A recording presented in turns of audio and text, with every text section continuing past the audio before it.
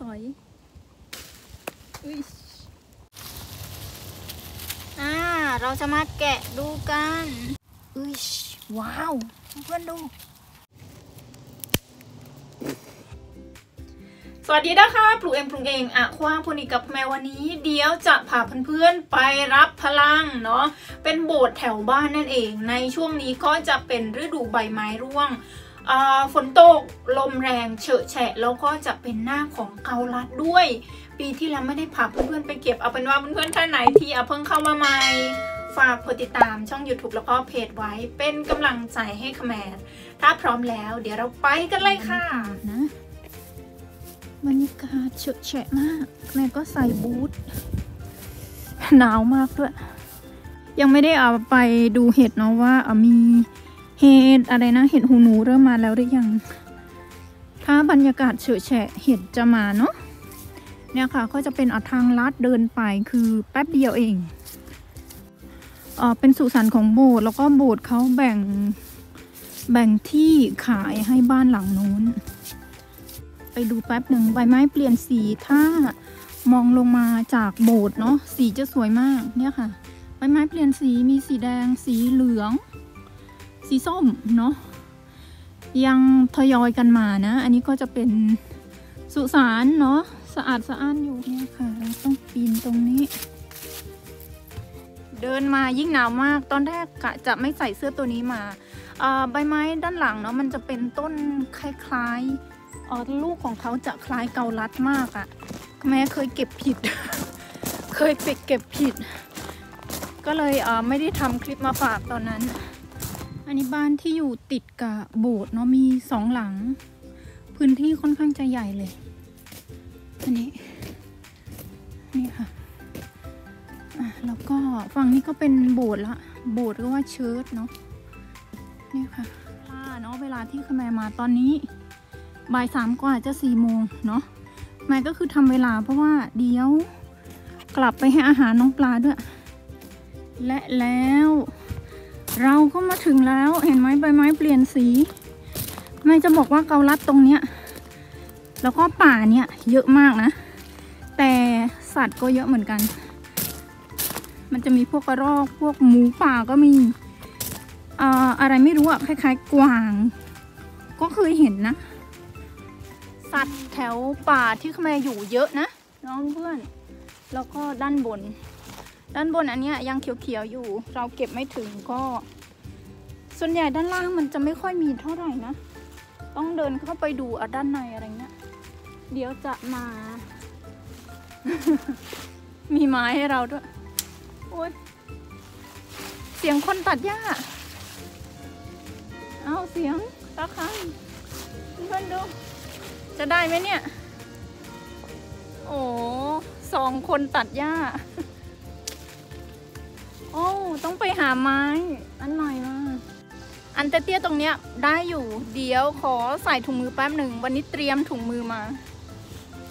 ไม่ได้เอาขาตั้งกล้องมา ถือแต่เซลฟี่อย่างเดียวมันก็จะง่ายเนาะ ไม่รู้อันนี้จะโอไหม เพราะว่า แกะด้วยมือไม่ได้เนาะ มันจะเป็นแบบน้ำหนามอะไรเงี้ย อะ มาดูค่ะแม่เก็บกัน โอเคไหมอะ มองเห็นไหมอะ ถุงมือไม่ค่อยได้ช่วยเลยอะ นี่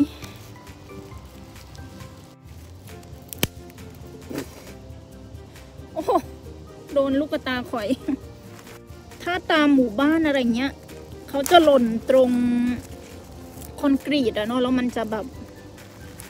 เอ่ออะไรนะ เม็ดอะเม็ดมันจะแตกออกมาง่าย แต่ว่าอันเนี้ยคือตามป่าเนาะ พวกไม่ทันสัตว์อะอ่าได้แล้วเม็ดหนึ่ง มาดูกัน วันนี้เอาตะกร้ามาใส่ด้วยนี่น้ำเจ็บมาก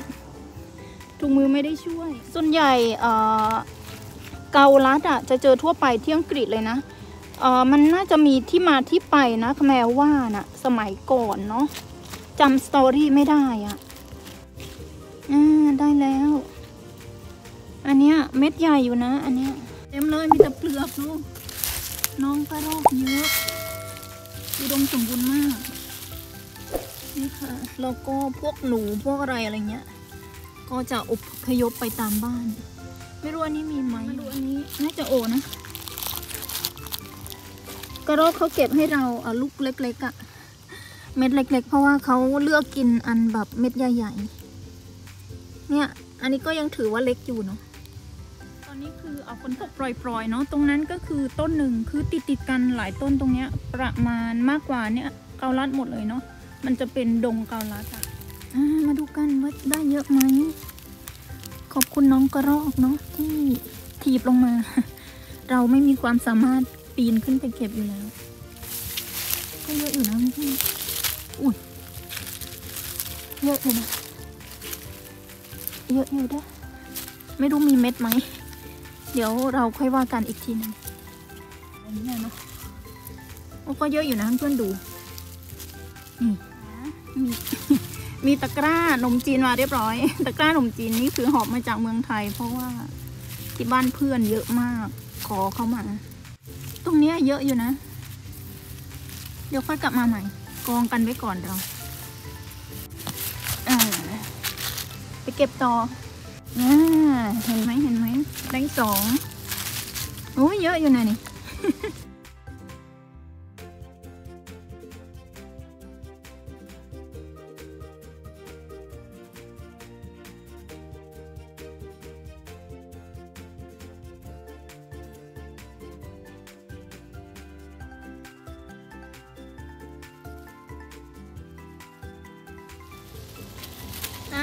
เราจะมาแกะดูกัน ไม่รู้ว่าเสียงตัดหญ้านี่คือจะแทรกเข้าไปในคลิปตลอดเวลาไหม แต่คิดว่าน่าจะดังพอๆกันกับเสียงขแมรนะอ่าแกะนะ อุ้ยไม่กูดเนสเดี๋ยวไปหาไม้ใหม่อะน่าจะโอให้เรา น่าจะโอให้เราเสียงคนตัดหญ้ามาพร้อมเราเลยเอออันนี้โอเค แล้วก็ง่ายด้วยอ้วนนี้ได้ทั้งสามอัน กระรอกเขาจะไม่มาเพราะว่าเสียงคนตัดหญ้าเนาะเขาก็จะกลัวของเขาปกติเสียงเอ่อมันจะมีแบบหล่นตลอดเวลาอะไรเงี้ย คือกระรอกเขาอยู่บนต้นไม้นั่นเอง นี่ เอาหมดเลยค่ะแม่ นี่ค่ะ อืม ใหญ่สุด เริ่มใหญ่ขึ้นแล้วอะเริ่มใหญ่ขึ้นแล้วนี่ เอาหนึ่งอบเนาะนี่ได้สองเม็ดค่ะ อีกเม็ดหนึ่งมันรีบๆเนาะมันไม่มีเนื้อข้างใน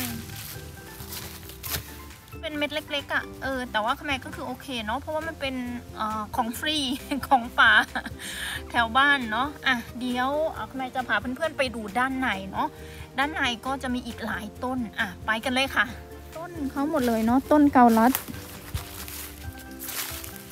เนี่ยค่ะ ซาก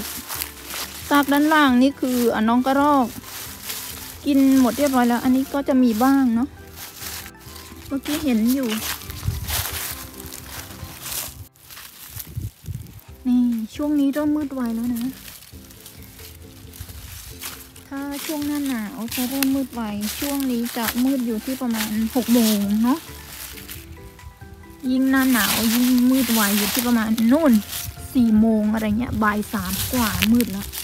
โอ้ต้องเอาไปเก็บก่อนละอันนี้อีกหนึ่งอึชโอ้ ตรงนั้นอีกหนึ่งเดี๋ยวค่อยมา เดี๋ยวเดี๋ยวแม่ขอมากองไว้ตรงนี้ เอ๊ที่ของเรา เราจะไปนั่งแกะด้านในกันโอ้อันนี้ใหญ่ อันนี้ใหญ่นี่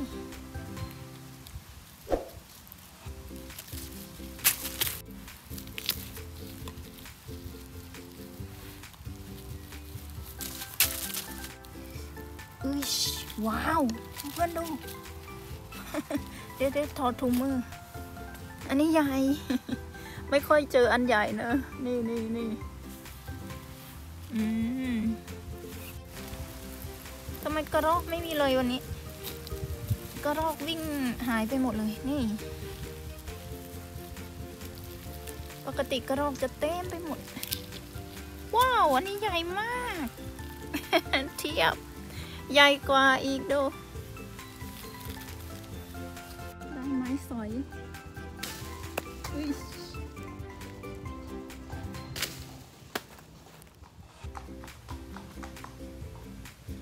มีการหยุดด้วย หันหลังกลับเขาฝึกม้าอยู่ อะ เรามาเก็บต่อกัน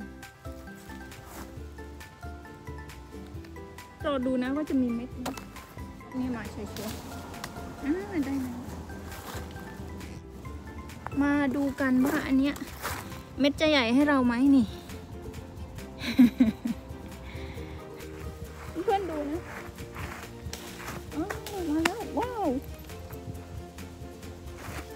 เนี้ยเริ่มอ้าแล้วด้วยเดี๋ยวจะแกะให้ดูนะว่ายังอุ้ยสุดยอดเลย สุดยอดเลยดูนี่ว้าวอ้าแล้วคือเอ่อกระรอกกินไม่ทันเรา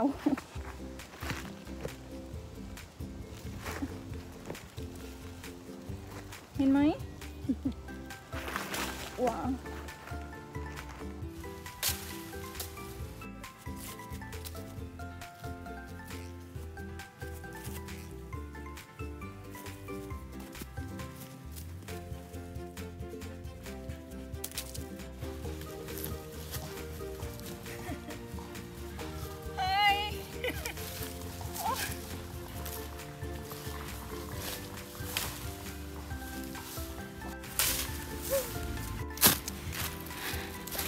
ก็บเองแบบเนี้ยเม็ดเขาน่าจะใหญ่นะ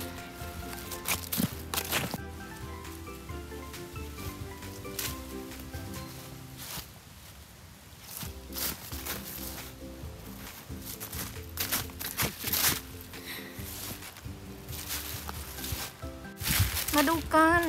จากต้นสดๆ ว้าว อันนี้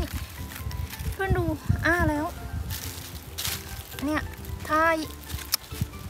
ถ้าเม็ดเขาจริง ๆ อะ มันจะใหญ่อยู่ประมาณเนี้ยเนาะอันเล็กๆพวกเนี้ย อันเล็กๆพวกนี้ มันจะเป็นเหลือจากน้องกระรอก แต่ว่าน้องกระรอกเขาก็เก็บไว้ให้เรากินนะ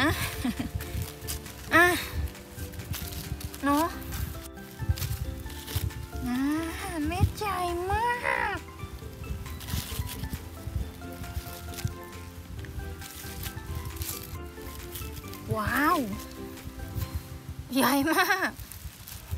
ได้อยู่นะหนึ่งตะกร้าเนาะได้เม็ดใหญ่คละกับเม็ดเล็ก เพราะว่าเขาเป็นอะเกาลัดป่านั่นเองเนาะมันจะไม่ใช่พันธุ์ใหญ่แต่บางเมืองเนาะ